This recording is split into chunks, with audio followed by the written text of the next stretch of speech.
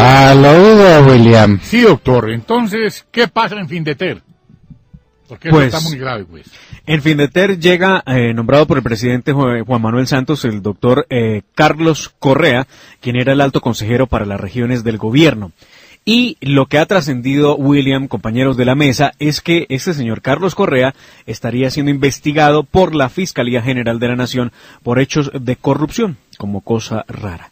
Según eh, Blue Radio, ha dicho que las investigaciones en contra de Carlos Correa en la Fiscalía son por irregularidades en contratación del Coliseo Miguel Happy Lora y la construcción y remodelación de la Villa Olímpica de Montería mientras ejercía como alcalde de Montería entre los años 2012 y 2015. Pero aún así, el señor Carlos Correa llega a Findeter y lo defiende el presidente Juan Manuel Santos, quien dice que en su gobierno no hay un solo corrupto. Ay. Sí, que es una de las mayores preocupaciones de los colombianos. En la encuesta lo veíamos esta mañana. El, el- el tema de la corrupción está absolutamente disparado, ¿no? Y no solo eso, sino que leyendo hoy en eh, eh, un artículo en la revista Semana, que son los familiares del presidente Juan Manuel Santos y su sobrino, hay que ver el artículo que escriben, eh, eh, disculpando esa baja popularidad, diciendo que, que el problema es que es el del radicalismo de la oposición y la desaceleración de la economía y justifica que le vaya tan mal en su imagen y en la de sus ministros, cuando el problema fundamental yo creo que es ese de Mar, es la corrupción. La gente Y la está harta de la corrupción. de la economía, Montserrat. La gente perdona muchas cosas, pero menos no tener un eh, plato de comida para llevar a la casa. Pues es que, pero, Eso- pero esa es la consecuencia del gobierno, ¿no? Esa, Claro, claro. No, no, no es casual, ¿no? Como dice la Claro. revista Semana, como, uy, Claro. se desaceleró la economía. Qué, qué, qué Claro. raro, ¿no? no La gente no entiende qué es reforma tributaria, doctor Fernando. El- La gran mayoría de los colombianos seguramente no entienden el alcance de esas palabras, pero sí entienden que cuando van a una tienda, cuando van a un supermercado, el dinero les alcanza menos. Gracias a esa reforma que le subió el IVA del 16 al 19. o no tienen para qué ir al mercado porque no tienen un peso en el bolsillo. Es que estamos hablando de que el, de, eh, de que el empleo informal es por lo menos la mitad de todo el empleo que denuncia el DANE o que sostiene el DANE que existe. Y en una economía en retroceso, imagínese usted cómo será el rebusque. Ay, ay, ay. Claro, porque usted se rebusca en una economía próspera, donde hay mucha plata, donde el transeúnte tiene plata, donde el comerciante tiene plata, donde el industrial la tiene. Algo hace uno para rebuscarse la vida en esas circunstancias. Pero en un país empobrecido, dígame qué se rebusca. Lo que se rebuscan los venezolanos, en la basura para encontrar algo de comida. Ese es el Pero rebusque. mire, mi- miren los datos. El 87% de los colombianos cree que la economía está estancada o en retroceso. 87%. ¿No les parece un, eh, un porcentaje vergonzoso? No, eso es terrible. Además de lo que decía el doctor, sucede que en épocas de crisis, eh, en las medidas que da eh, todas las instituciones del gobierno, parece que el empleo, por ejemplo, aumenta, que la tasa de desempleo disminuye porque como toman en cuenta el rebusque, pero sucede que, por ejemplo, el, el hijo que va a la universidad ya no tienen dinero para pagarle su universidad y entonces él entra a trabajar. Entonces eso aumenta supuestamente la tasa de empleados, pero es porque más gente dentro de las familias está desesperada por conseguir alimentos y ayudar a su familia. Por otro lado, vemos que el señor, el sátrapa, tiene ya tres candidatos eh, marcadamente favoritos, que son Germán Vargas Lleras, eh, Sergio Fajardo y Humberto de la Calle. Humberto de la Calle, pues obviamente lo ha descartado pues, todo el mundo. Eso sí, pues ahí me- tiene más rebaja una guía de marrano. Eh, pues, el, el, eh, el otro, eh, Vargas Lleras, pues no sabemos en qué va a parar lo de él, porque eso es un aparato que puramente mm, clientelista. Pero aquí hace unos 15 días o 20 yo conté que se estaban reuniendo sigilosamente Enrique Santos Calderón con Sergio Fajardo. Y el cuento es el siguiente. La carta escondida de Juan Manuel Santos, la que tiene guardadita, es la de el emblullinado exgobernador de Antioquia, Sergio Fajardo Valderrama. Dios nos tenga de su Qué mano. peligro, qué peligro. Dios Ay, nos nos guarde. coja confesable. Nos- Dios nos guarde de esos brullines y de esa melena. Uy. Dios nos guarde. Dios nos guarde. Ese sí es, eh, ese sí es la ausencia total de doctrina. Ese es el mayor paquete que le han metido al país en la Es historia. el color de melo colombiano, eso sí puede. Hay que ver, hay que ver lo que fue la gobernación de Antioquia de ese, de ese señor. Sí, señor. Y hay que ver los cargos que tiene y los cargos contra su familia. Hay que ver las cosas que hay por dentro. Dios nos libre de ese incompetente y, y de ese, porque, porque es también pues un, un artista de la figura, un artista de la imagen. Sí. Eso es lo que es Sergio Fajardo. Es un Sí, en esa indefinición, eh, eh, eh, William, yo, yo sí creo que eso puede pasar. Eh, Sí. es, eh, es tenebrosa la idea, pero, pero sí puede pasar. Y, y le ha funcionado, ¿no? Por ahora, en las encuestas de opinión marca, a pesar de que es una persona que no, no, no se define, ¿no? Es que no, además, es, es difícil no ubicarla, es increíble. Yo no le he escuchado una idea. Es tímido para las ideas. Como que le da pena. Pues ¿no? es que no tiene Sí. ninguna, no tiene ninguna sobre nada. O, o más bien tiene, pero no las quiere decir porque sabe que le va a ir mal con eso. Bueno, pero el hecho es que en todas las encuestas también comanda Petro. Ese es el hecho. Sí. También, sí. La- por eso. Pero no los lo ve hechos- uno haciendo campaña, eso es lo que le Y los extraña. hechos, los hechos son tosudos. Sí, los señor. hechos son tosudos. Y Petro es el gran amigo de Chávez. Recuerden que Chávez se alojaba en la casa de Petro aquí y que Petro iba a Venezuela y no tenía que hacer o sigue yendo, yo no lo sé, eso no lo sé. Pero en la época de Chávez no tenía que hacer migración, él pasaba de largo. Y que la esposa de Petro era alta funcionaria del gobierno de Chávez. Entonces, entonces eh, tengamos, tengamos presente cuál es la orientación de Petro.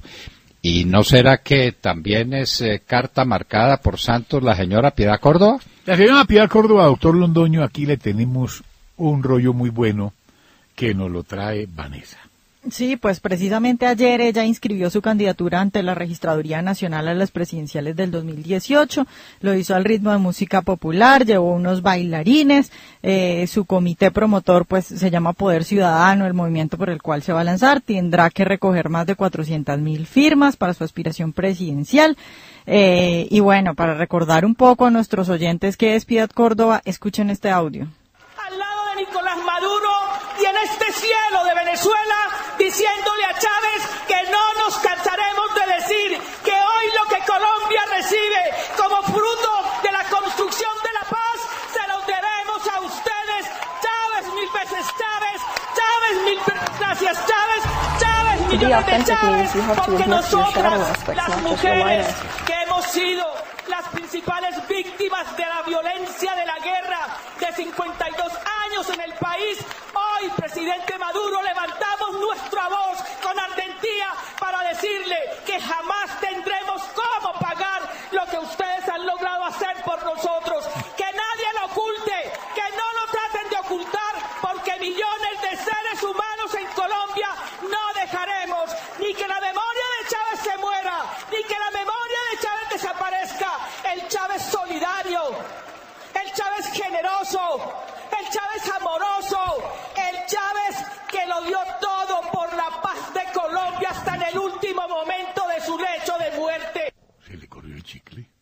Y, y- y hay otro audio. Doctor, se le corrió el chicle. Yo, No, yo no sé si ustedes la vieron. En ese mismo, en esa misma ocasión dijo, en esa misma ocasión dijo que no se cansarían de hacer filas y que si en Colombia tocaba hacer filas, pues las harían con gusto porque era por la ¿Mediadita revolución.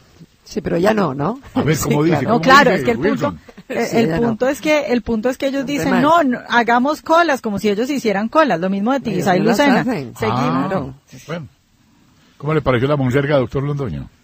Pues muy bien, muy bien, porque además, Ay, ay, ay, ay, ay, ay. además, Bueno, pues por lo menos esta además- se define, ¿no? Por lo menos Pre- esta está no, pero pregúntele, pregúntele a Piedad Córdoba qué recibió ella de Chávez.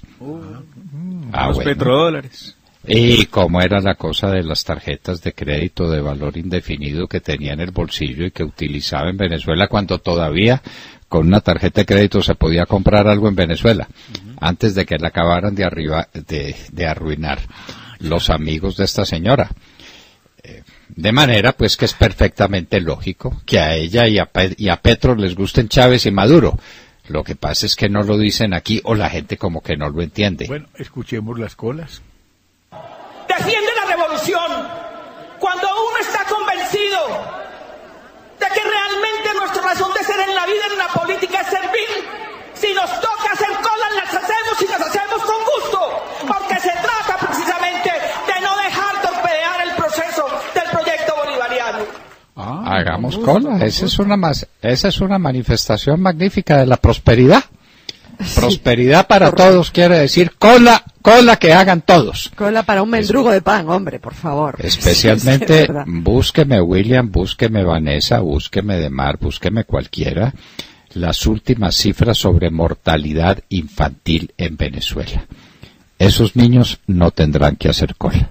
Esos niños se murieron por falta de un medicamento, por falta de una incubadora, por falta de recursos médicos. ¿Y cuántos son? Miles. Es la peor tasa de mortalidad infantil, no en la historia de Venezuela, en la historia de América. Eso es un genocidio. Pero como esos niños no protestan, no pueden salir a la calle, no pueden levantar su voz, simplemente dejan el testimonio de una atrocidad que se está cometiendo contra los niños venezolanos. Tengo cifras, no doctor tienen- Fernando. Tengo cifras. A ver, Cifras demuestran que en el país, en Venezuela, el año pasado fallecieron 11.466 menores de un año, representando eso un incremento del 30,12% en relación con el año 2015. Y eso hay que aclarar que son cifras sacadas con las uñas, ¿no? Porque los hospitales ni siquiera reportan oficialmente eh, los muertos ni las dificultades que tienen porque el gobierno no deja sacar esas cifras. En 2016 fallecieron 756 mujeres en estado de embarazo. pero eso no cuenta, eso no cuenta. Eh, de manera que hagamos colas, veamos morir a las mujeres embarazadas, veamos a morir a los niños recién nacidos. Esas cifras eh, eh, de mar habría que cotejarlas, por ejemplo, con las cifras de mortalidad infantil en Colombia, para que uno, para que uno tenga noción de las dimensiones del genocidio que se comete en Venezuela. Es que uno se sigue preguntando cómo es posible que esta gente haga eso. Por ejemplo, Juan Carlos Monedero, el compatriota de Montserrat, dijo hace poco que en Venezuela habían muchas filas porque la gente tenía mucha plata para comprar.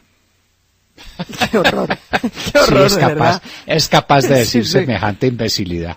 Sí, claro. Qué barbaridad. claro. No, Claro. pero, pero bueno, eh, eh, esos son unos personajes además muy peligrosos, ¿no? En España, hay que decirlo. Y También que son además los, club de parte de los fans, autores eh, intelectuales sí. de lo que sucedió en Venezuela, porque fueron Sí, ellos los que asesoraron a Chávez.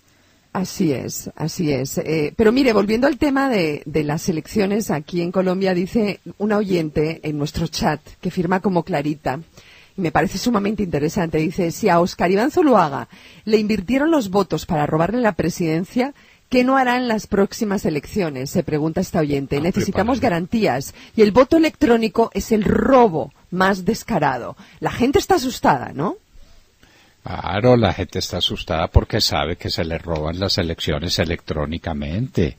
Es que acuérdese que en esas elecciones averiguamos por cuál era la votación en las ciudades de la costa atlántica a las tres y media de la tarde, faltando veinte para las cuatro. Nos decían aquí no votó nadie. Y apenas se cerraron las urnas, había votado todo el mundo. Sí, señor. Y, y entonces, bueno, desgraciadamente Oscar Iván Zuluaga cometió el error político de su vida, que fue salir a aceptar los resultados de unas elecciones en las que se le acababan de robar ¿Sí? la presidencia de la Va a República. morir de grito el doctor Oscar Iván Zuluaga. ¿Qué hacemos? Sigamos, doctor Londoño. Entonces, eh, mientras tanto, estamos con paro minero en Remedios y Segovia.